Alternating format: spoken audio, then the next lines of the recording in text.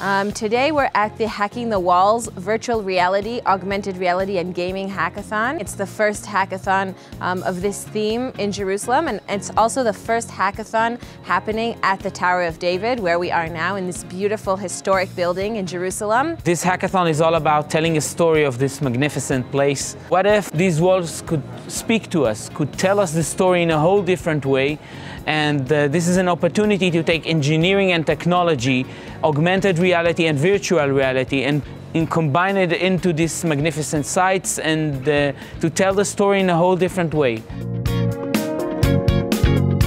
Jerusalem in four years is going to be one of the leading cities in the world dealing with that. And we believe that here in Jerusalem, uh, we can do it and we can bring uh, the word to the world and right here in Migdal David, which is like the center of Jerusalem and the symbol of Jerusalem, where we say from Jerusalem, the Torah, the word they come out, Mitzion Tetzet Torah, we think the same thing we're going to do with um, virtual reality and augmented reality.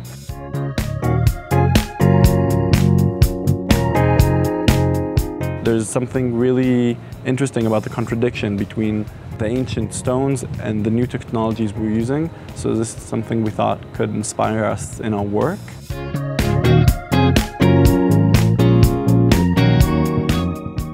You can bring yourself into a, a, different, totally different period in time, and you can meet the Mamluks and Crusaders and King David even, if you really want. So you can find an avatar or you can build your own avatar and put yourself into any totally different time, totally different environment and cultures and really meet in a very high level of experience people, languages, culture and holistic experience. We want the visitors to know more about the history. We want the visitor to engage with the stories of the city, of the people who used to be here. King Herod, for example, the Crusaders. This is a story of our identity, of our life here. And actually technology can help us do it.